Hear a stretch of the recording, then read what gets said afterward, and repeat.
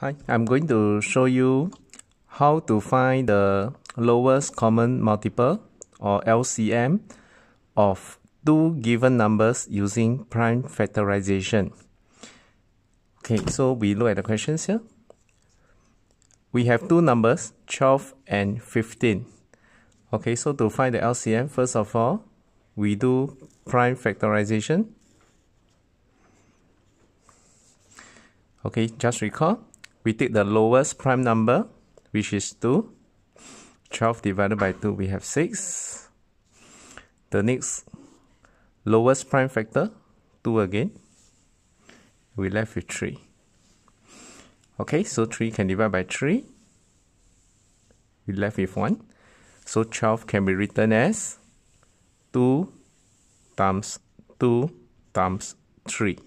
Okay, we make it into index notation. 2 to the power of 2 times 3. Similarly, for 15,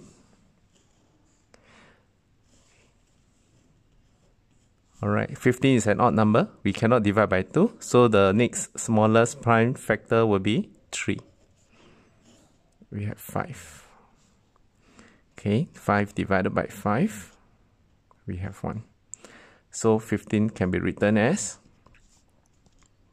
3 times 5. Okay, to find the lowest common multiple, we compare the prime factors of the two numbers. Prime factors for 12 is 2 squared times 3, and the prime factors for 15 is 3 times 5. Okay, let's compare. Um, for 12, we have 2 squared. For 15, we don't have 2 as a factor. Okay, both 12 and 15, we have the prime factor 3. So we can circle both of them together. And 5 only appears as a factor of 15, but not for 12. Okay, so we circle 5. Okay, so to find the LCM, we simply take the one that we circle. So we have 2 square okay so um, we just take 1 and the 5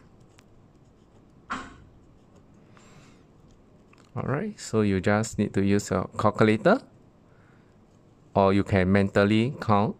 4 times 3 12 12 times 5 we have 60